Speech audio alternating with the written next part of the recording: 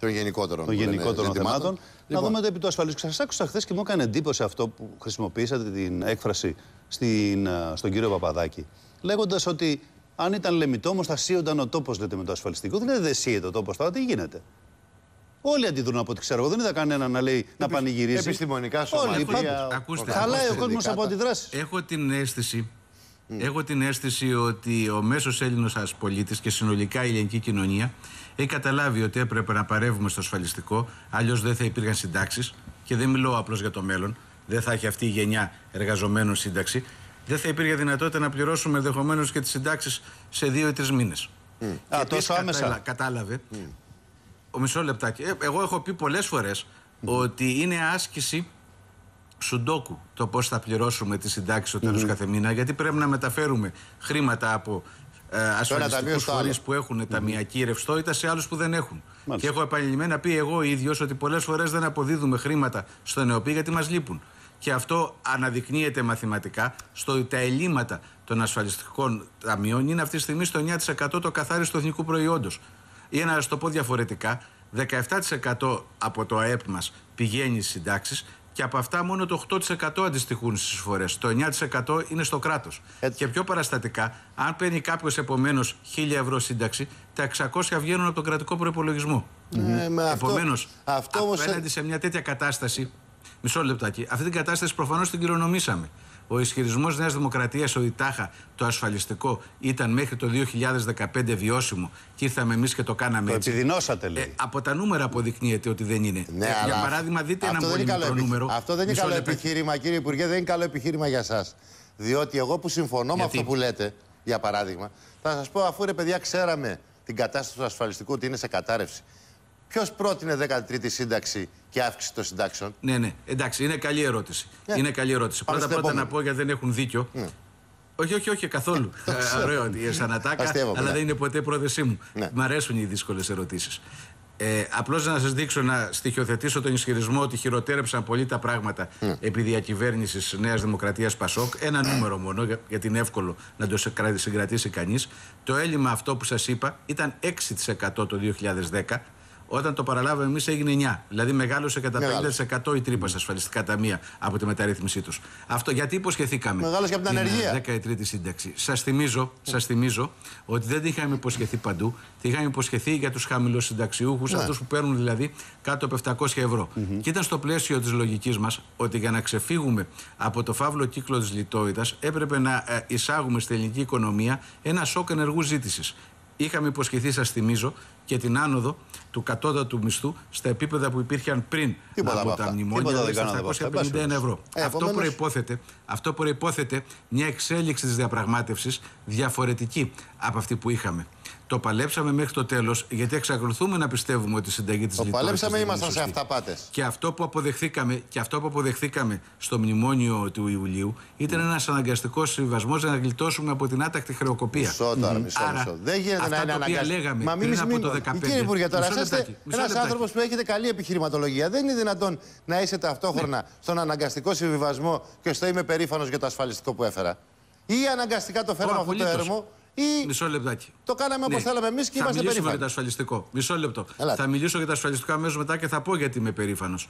Ε, τώρα εξηγώ τη διαφορά ανάμεσα στη 13η σύνταξη πριν από το 2015 και για το γιατί δεν τη δώσαμε. Και η εξήγηση που δίνω είναι απλή. Θα συμφωνήσετε κι εσείς, νομίζω δεν υπάρχει άνθρωπος εκτός από τους ιδεολειπτικούς του νεοφιλελευθερισμού που να αποδέχεται ότι η παραδεταμένη λιτότητα δεν ωφέλησε την ελληνική οικονομία. Άρα το να ξεφύγουμε την από παρατείνατε, θα σας πει. ενισχύοντας την ενεργή Από ζήτηση. τα- από τότε που ήταν σωστή αναλάβατε, πολιτική. παρατείνατε τη λιτότητα. Δεν Ωραία, η μπορέσαμε. ενεργή ζήτηση Όχι, δεν μια πέρασε. λέξη θα πω, μια λέξη θα πω για να μπούμε στο ασφαλιστικό. Ε. Το ότι δεν μπορέσαμε να εφαρμόσουμε μια σωστή πολιτική όπως αυτή που αναγγείλαμε πριν από το 2015 οφείλεται στο συντριπτικά σ- αρνητικό για μας συσχετισμό δυνάμεων. Και αν πρέπει να κατηγορηθούμε για κάτι. Άρα αυτά είναι πάτες στο ότι πάλι. είχαμε Πάλι για δείξει- αυτά πάτες. Όχι, εγώ, θα, Ε, πώς; εγώ δεν θα χρησιμοποιήσω αυτή τη λέξη γιατί δεν μου αρέσει. Υπερεκτιμήσαμε δύο πράγματα. Το κατά πόσο λειτουργεί η δημοκρατία στην Ευρωπαϊκή Ένωση. Φάνηκε ότι δεν λειτουργεί. Πράγμα ήταν κου. Ήταν πραξικόπημα αυτό που έγινε με το κλείσιμο των τραπεζών. Και δεύτερο, υποτιμήσαμε την Μην πάμε πάλι στα ίδια, θα διαφωνήσουμε κύριε Υπουργέ. Ποιος έκλεισε τις τράπεζες, τις κλείσατε εσείς, τι έκλεισαν ξένοι. Μην πάμε στα ίδια. Πάμε λίγο να δουν τις ιδεολογικές τους αντιλήψει να αμφισβητούνται. Πάμε λοιπόν. Τώρα είναι αριστερό μέτρο, κύριε Υπουργέ. Η εξαφάνιση του ΕΚΑΣ είναι αριστερή πολιτική. Είναι αριστερή πολιτική εξαφάνιση του ΕΚΑΣ. Θα απαντήσω. Θα απαντήσω. Ο λόγος για τον οποίο είπα ότι είμαι υπερήφανος για το ασφαλιστικό δεν είναι γιατί οι συντάξεις που δίνουμε είναι μεγάλες. Είπε ο ίδιος ότι 380 ευρώ που αντιστοιχεί στο όριο της φτώχεια και που είναι η εθνική σύνταξη.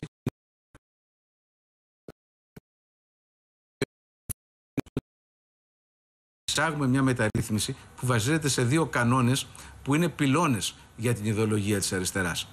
Η ισονομία, οι ίδιοι κανόνες για όλους, να μην υπάρχουν Έλληνες που είναι πιο ίσοι από τους άλλους mm-hmm. Και κοινωνική δικαιοσύνη που σημαίνει ότι παρεμβαίνουμε και εισάγουμε εξαιρέσει της ισότητας. Όχι, όχι, όχι. Ακούστε, το 90% των συνταξιούχων που έχουν εισόδημα αυτή τη στιγμή αντίστροφα. Το 90% των εργαζομένων που έχουν αυτή τη στιγμή εισόδημα 1000 ευρώ και κάτω θα έχουν καλύτερες συντάξεις. Mm-hmm. Οι νέοι συνταξιούχοι, αυτοί που θα βγουν τώρα θα έχουν καλύτερες συντάξεις. Το 90% των αυτοαπασχολουμένων.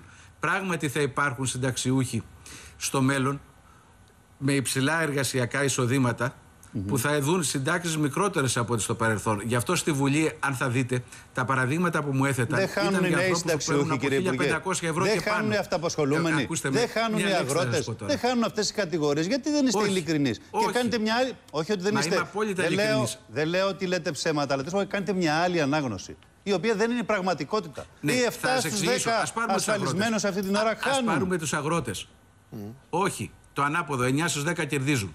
Πρώτα πρώτα να δούμε. τα λεφτά, ρε παιδιά; Ε, να, σας, να, να πάρουμε μια, μια περίπτωση. Πείτε μου μια περίπτωση, δεν θα τη συζητήσουμε. Γιατί έτσι 7 στους 10 χάνουν, 9 στους 10 κερδίζουν, κανείς ε, δεν καταλαβαίνει. Να πάρουμε μια περίπτωση. Να πάρουμε μια, περίπτωση. Μια, μια επαγγελματική κατηγορία. Μια επαγγελματική κατηγορία. Ένας Ιδιωτικός Διαλέξτε εσείς για να μην φανεί ότι διαλέγω εγώ το γηπεδό μου. Διαλέξτε μια επαγγελματική κατηγορία. Οποιαδήποτε κατηγορία. Πείτε εσείς για τους αγρότες λοιπόν, αν θέλετε κατηγορία.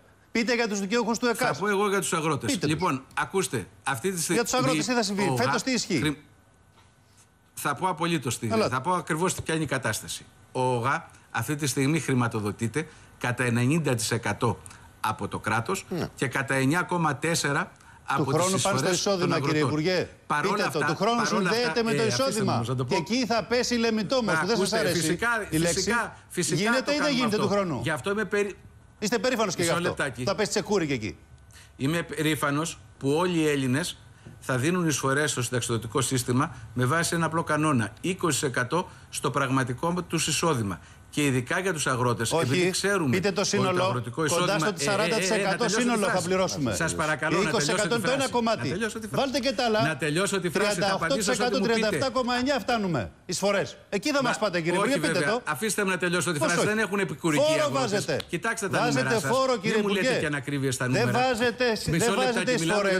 Βάζετε ένα ακόμη φόρο. Επιτρέψτε να τελειώσω τη φράση μου. Καλάτε. Πρώτα-πρώτα το 37% είναι ανακριβές γιατί οι αγρότες δεν έχουν επικουρική σύνταξη. Έχουν 20% για την κύρια και 6,95% για την υγεία. Δεύτερον, σε όλους τους Έλληνες έχουμε επιβάλει ως ελάχιστη ασφαλιστική υποχρέωση αυτή που αντιστοιχεί στο εισόδημα του ανειδίκευτου εργάτη. Ειδικά για τους αγρότες, επειδή ξέρουμε ότι το αγροτικό εισόδημα κατά μέσο όρο είναι πράγματι μικρότερο από το αστικό. Αντί να ζητάμε την εφαρμογή αυτού του μέτρου, ζητάμε από τους αγρότες να πληρώσουν μόνο το 70% αυτού που αντιστοιχεί στο μισθό του ανειδίκευτου εργάτη. Μη σας πάω τώρα σε μισθωτούς και μπλοκάκια. Μη σας πάω σε αυτοαπασχολούμενου. Μην πάμε σε επιστήμονες. Γιατί θα στενοχωρηθούμε, κύριε Υπουργέ; Εγώ το, το καταλαβαίνω. Κάνατε μια δύσκολη προσπάθεια. Δεν θα ήθελα καθόλου να είμαι στη θέση σας, το λέω ειλικρινά, μα καθόλου να είμαι στη θέση του Κατρούγκαλου και κανείς φαντάζομαι από τους περισσότερους Έλληνες αυτή την ώρα. Τραβήξατε πολύ μεγάλο ζόρι. Και αυτό το νομίζω όλοι ναι, πρέπει να το ναι, πούμε, ναι. το παραδεχτούμε. Αλλά πρέπει να λέμε και την αλήθεια. Δεν είναι υποτιμηνικό. Ήξερα που ήμουνα. Έχω πει πολλές φορές. Αν ήθελα να είμαι ασφαλής και στο απειρόβλητο, θα ήμουν στις Βρυξέλλες. Αλλά η εμπλοκή μου στα δημόσια πράγματα δεν γίνεται για να αισθάνομαι εγώ καλά όταν έχω ξεπεράσει μια δοκιμασία. Θα πρέπει να κρυθούμε όλοι, όλοι όσοι συμμετέχουμε στο δημόσιο βίο, από το αν βελτιώσαμε την κατάσταση. Σα παρακαλώ, δεν έχουμε άλλο χρόνο. Ότι το ασφαλιστικό μας σύστημα για πρώτη φορά είναι ελάτε μια μέρα κοντά μας. Εάν βρείτε το χρόνο, ελάτε μια μέρα κοντά μας, θα το συζητήσουμε στο τηλέφωνο. Να κάτσουμε εδώ ώρα, να τα συζητήσουμε, να μιλήσετε και με τον κόσμο, να απαντήσετε σε, Ευχαριστώ. σε ερωτήματα εννοώ του κόσμου και να τα πούμε πιο αναλυτικά, διότι πιεζόμαστε τώρα πολλαπλώ. Δεν μπορείτε να φανταστείτε. Καλημέρα σας, ευχαριστούμε πολύ. Καλημέρα κύριε Υπουργέ.